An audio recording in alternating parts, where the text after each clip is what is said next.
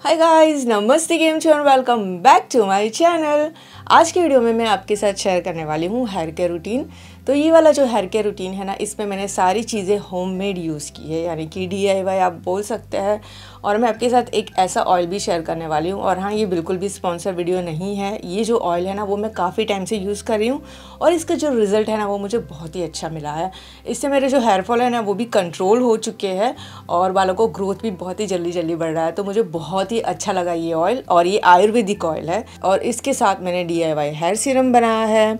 Shampoo बनाया है और एक मस्त वाला मास्क बनाया है गाइस जो आपके लिए बहुत ही हेल्पफुल रहेगा। बालों की सारी प्रॉब्लम्स को ख़त्म करने में मदद करेगा। तो वीडियो पूरा देखना और वीडियो पसंद आए तो लाइक ज़रूर कर देना गाइस चलिए वीडियो स्टार्ट करते हैं।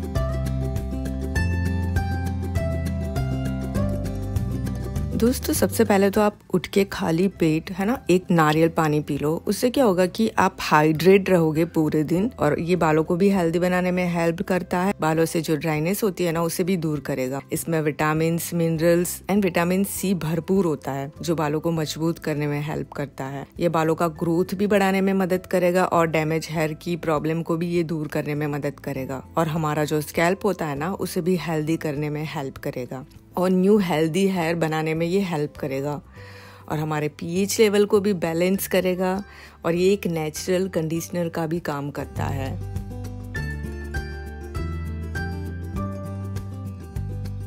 जो मैं ऑयल के बारे में बात कर रही थी ना तो ये है महाब्रिंगराज हेयर ऑयल और गाइज़ लोग मुझे ऐसा भी बोलते हैं हेयर ऑयल अप्लाई करती हूँ ना तो हेयर फॉल की प्रॉब्लम बहुत ही ज़्यादा होती है। तो गाइज़ इसकी जो रीज़न है ना, वो मैं आपके साथ शेयर करना चाहती हूँ। कि आप बालों में बहुत ज़्यादा ऑयल लगाते हो ना, उसके कारण भी ये तकलीफ़ होती है। और क्या होता है ना कभी कभी कि हमारे बाल बहुत ज़्यादा उलझे हुए होते हैं, उस पर आप ऑयल लगाते हो तो उसके कारण भी ये प्रॉब्लम हो सकती है, क्योंकि ऑयल लगाने के बाद हम टेंगल्स रिमूव करते हैं तो हेयर फॉल बहुत ही ज़्यादा होता है। तो आपको क्या करना है कि ऑयल लगाने से पहले ही आपको टेंगल्स को रिमूव कर देना है। और ऑयल लगाने की टेक्निक से भी हेयर फॉल हो सकता है, क्योंकि लोग है ना क्या करते हैं कि ऑयल इस तरीके से लगाते हैं ना कि बाल इतने ज़्यादा उलझ जाते हैं तो उसके कारण भी हेयर फॉल हो सकता है। कुछ ऑयल ऐसे भी रहते हैं जो केमिकल्स वाले ज़्यादा होते हैं, वो हमारे बालों को सूट नहीं करते हैं तो उसके कारण भी हेयर फॉल हो सकता है। अगर आपकी स्कैल्प में कोई प्रॉब्लम है, जैसे कि डेंड्रफ या फिर फंगल इन्फेक्शन है तो उसके कारण भी हेयरफॉल होता है। बहुत टाइम के बाद अगर आप ऑयल लगाते हो ना तो उसके कारण भी ये प्रॉब्लम हो सकती है। For example six seven days अगर आपने बालों को ड्राई रखा है, उसके बाद आप ऑयल लगाते हो, आप ड्राई बालों को लेके बाहर निकलते हो, उसके कारण पूरे बालों में डर्ट हो जाता है पोल्यूशन के कारण। उसके बाद अगर आप ऑयल लगाते हो ना तो भी आपको हेयर फॉल की प्रॉब्लम हो सकती है। लो क्वालिटी का ऑयल यूज़ करने से भी ये प्रॉब्लम मैंने देखी है, क्योंकि इसमें हार्मफुल केमिकल्स होते हैं, जो स्कैल्प को डैमेज कर देते हैं। ऑयल लगाने के बाद जब हेयर वॉश अच्छी तरीके से नहीं नहीं किया जाता है ना तो भी ये प्रॉब्लम हो सकती है, क्योंकि बालों में ऑयल रह जाता है, जो डर्ट को हमारे बालों में बिल्डअप करता है। इसके कारण भी ये प्रॉब्लम होती है। तो ये सारी चीज़ें आप ध्यान रखो तो आपकी हेयर फॉल की प्रॉब्लम बहुत ज़्यादा कम हो सकती है। ऑयल लगाने के बाद आप इसे ओवरनाइट भी रख सकते हो, या फिर अगर आप घर में ही हो तो इसे पूरा एक दिन भी रख सकते हो, उसके बाद दूसरे दिन आप हेयर को वॉश कर लीजिए। ये ऑयल लगाने के बाद जब आप हेयर वॉश करोगे ना तो आप देखोगे कि हेयर फॉल की प्रॉब्लम आपको एक ही बार में बहुत कम दिखाई देगी। तो आपको ये ऑयल एक बार ज़रूर ट्राई करना चाहिए और इसके जो भी रिज़ल्ट मिले मुझे कमेंट सेक्शन में ज़रूर बताना।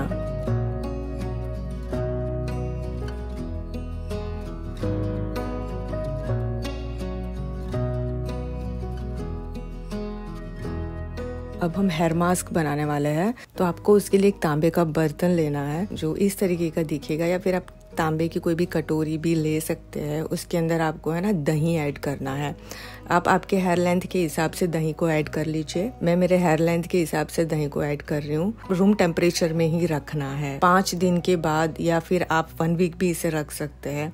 तो मैंने पाँच दिन इसे रखा था और उसके बाद आप देखोगे ना तो ये कुछ ऐसा ग्रीन ग्रीन हो जाएगा। उसके बाद इसे अच्छे से मिक्स कर लीजिए और आप स्कैल्प में अप्लाई कर लीजिए। आप हेयर लेंथ में भी अप्लाई कर सकते हैं। ये वाला दही आप अगर लगाओगे ना न्यू हेयर आना स्टार्ट हो जाएँगे। क्योंकि कभी कभी क्या होता है ना कि बेबी हेयर जो होते हैं ना, वो अच्छे से ग्रो नहीं हो पाता है। अगर आप ये मास्क लगाओगे ना तो उसकी प्रॉब्लम आपको धीरे धीरे कम दिखाई देगी और आप इसे वीक में एक बार यूज़ कर सकते हैं। और इसे अप्लाई करने के बाद है ना, आपको इसे एक से दो घंटा रखना है। उसके बाद आपको हेयर वॉश कर देना है। तो जब भी आप ये मास्क लगाओ ना, उसके बाद आप नेचुरल वाला शैम्पू यूज़ कर सकते हैं। तो नेचुरल शैम्पू के लिए आपको एक चम्मच आंवला पाउडर एक चम्मच रीठा पाउडर और एक चम्मच शिकाकाई पाउडर और इसमें थोड़ा सा ल्यूकवॉम वाटर लेना है और इसे अच्छे से मिक्स कर देना है। जब भी भी आप इसे यूज़ करो ना तो इसे अच्छे से शेक करके यूज़ करो जिससे ये थोड़ा सा फोम वाला हो जाएगा। उसके बाद आपको इसे यूज़ करना है। तो सबसे पहले पानी से अच्छे से बालों को वेट कर लीजिए, उसके बाद ये वाला शैम्पू लगा दीजिए। तो इसमें ना ज़्यादा फोम नहीं होगा, लेकिन ये आपके स्कैल्प से जितनी भी गंदगी होगी ना, उसे दूर कर देगा। डेंड्रफ की प्रॉब्लम को भी हटाएगा और इन्फेक्शन हो गया, उसकी प्रॉब्लम को भी हटाने में हेल्प करेगा।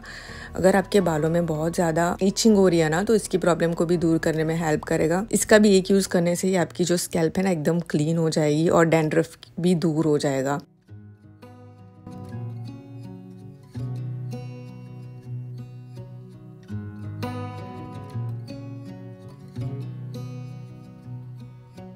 उसके बाद हम हेयर सीरम बनाने वाले हैं। तो हेयर सीरम के लिए आपको चार से पाँच चम्मच एलोवेरा जेल लेना है। आप नेचुरल एलोवेरा जेल भी यूज़ कर सकते हैं। उसके अंदर दो चम्मच कोकोनट ऑयल ऐड करना है और को बाम्बू एसेंशियल ऑयल यूज़ करना है। ये आपको अमेज़ोन पे मिल जाएगा। मैं लिंक शेयर कर दूँगी। इसे अच्छे से मिक्स करो। जब आप इसे मिक्स करोगे ना तो ये ऐसा वाइट हो जाएगा। तब तक आपको इसे मिक्स करना है। और इसे एक कंटेनर में आप इसे भर दीजिए। और इसे जब भी, भी आप यूज़ करो ना तो इसे रूम टेम्परेचर में ही रखो। आपको ऐसी जगह पे नहीं रखना है कि जहाँ पे धूप आती हो ठीक है? उसके बाद इसे बालों के लेंथ में अप्लाई कर देना है। और एक अच्छी बात ये है कि आप इसे एक हेयर मास्क की तरह भी यूज़ कर सकते हैं वीक में एक बार। जब आप इसे यूज़ करोगे ना तो आपके जो बाल बहुत ही मैनेजेबल लगेंगे और एक नेचुरल शाइन भी आपको दिखेगी। तो आप हेयर सीरम के लिए ये नेचुरल वाला सीरम बना सकते हैं।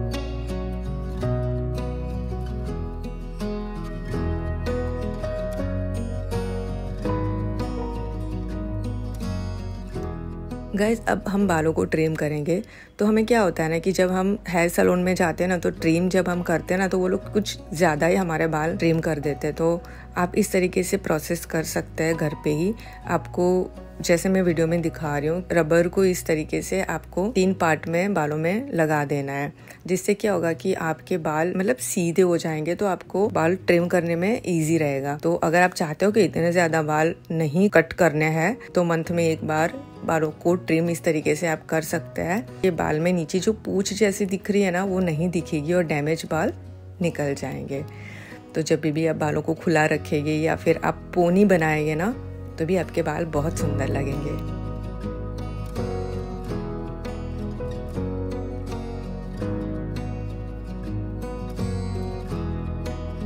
तो गाइज़ ये था मेरा आज का वीडियो कैसी लगी वीडियो कमेंट करके ज़रूर बताना.